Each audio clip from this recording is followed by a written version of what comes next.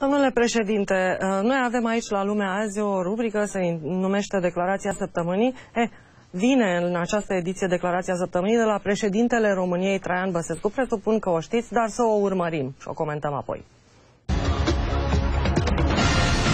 România a avut un proiect fundamental de țară, intrarea în NATO. A avut un al doilea proiect fundamental de țară, intrarea în Uniunea Europeană.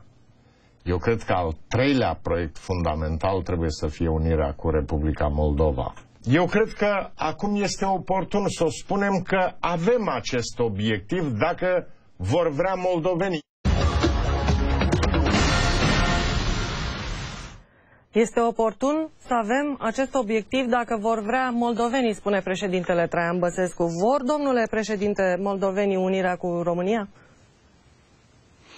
În, la noi, în societate, ca și în alte state, sunt, este libertate de expresie.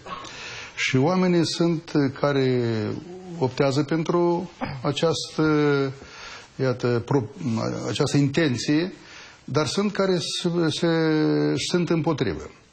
Eu vreau să vă zic că în Republica Moldova există o realitate concretă.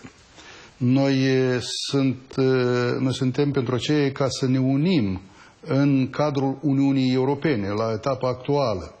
Și despre aceasta am vorbit nu odată și am înțeles din expresiile care au fost, sau din ceea ce a spus domnul Băsescu la întâlnirea de ieri, că el optează pentru uh, unirea noastră în cadrul Uniunii Europene.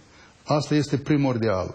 Restul uh, întrebări legate de acest uh, termen, unire, lăsăm la uh, discreția urmă, urmașilor noștri și a celor care vor hotărâi la momentul potrivit.